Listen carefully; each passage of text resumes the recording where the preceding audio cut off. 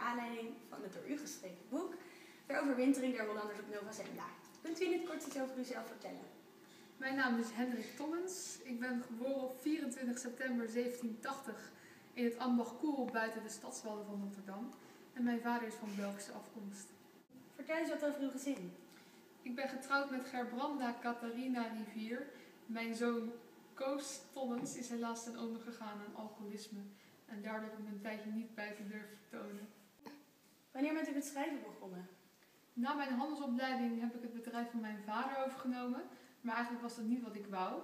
Ik heb mezelf de regels eh, van de taal en dichtkunst geleerd. En langzamerhand kreeg ik vrienden buiten het bedrijf van mijn vader. Ehm, ik koos voor de toneelwereld en trad in verschillende genootschappen op in Rotterdam. Als u een stroming zou moeten kiezen voor uw geschreven werken, welke stroming zou u dan kiezen? Ik zou de romantiek aan mijn werk toekennen, omdat ik in mijn werk wou benadrukken hoe het leven moest zijn. Geluk in het gezin, vertrouwen in het vaderland en geloof in God. Dit zie je bijvoorbeeld ook terug in mijn boek Nova Sembla. Als een man in vast komt te zitten op de Noordpool en zich herroept op God. Wat voor soort werken schreef u? Toen ik jong was ben ik begonnen met het vertalen en schreef ik herderszangen met overdadige sentimenten en een erotisch tintje. En ook strijdliederen voor opstandelingen. Later schreef ik vaderlandsverhalen die met vroege romantiek geladen waren. Met welk werk heeft u meer aanzien gekregen? Voornamelijk met mijn eenvoudig toegankelijke poëzie over huiselijke onderwerpen en met romans zoals Jan van Schaffelaar en Willem I. En wat is het doel van het schrijven van Nova Zembla geweest?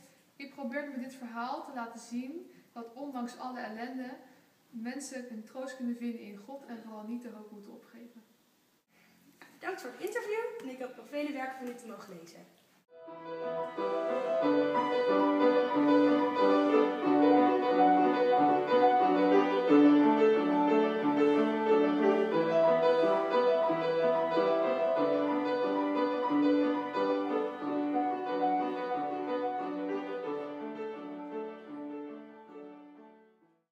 Op 10 mei 1596 vertrokken Willem Barens, Heemskerk, Rijp en hun mannen met twee schepen.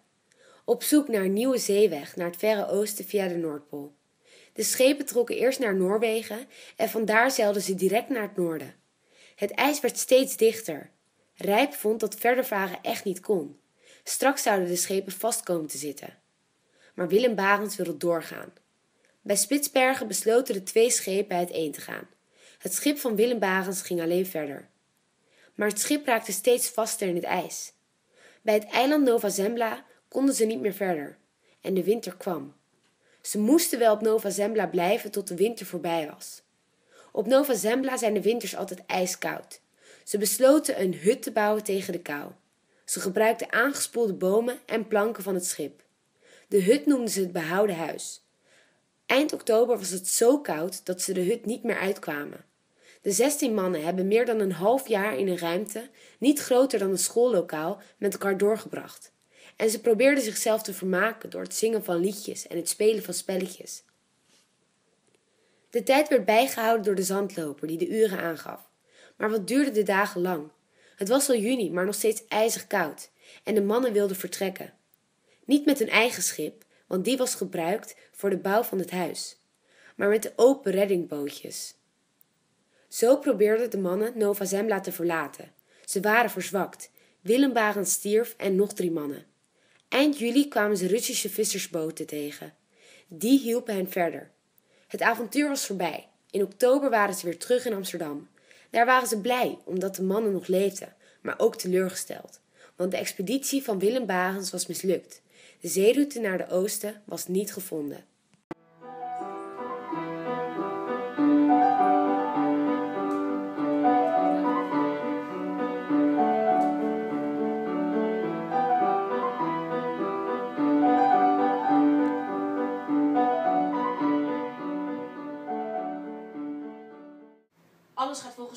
We zullen Nova Zembla vanaf de noordkant passeren en zo het verre oosten bereiken.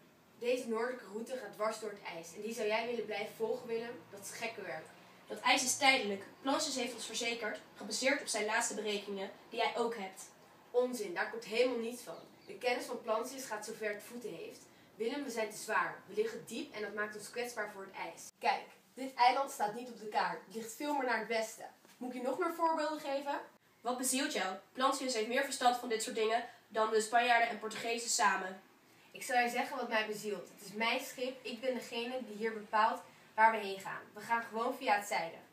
En dan nog iets. Ik heb geen zin om mee te werken aan jouw derde mistukking op een rij.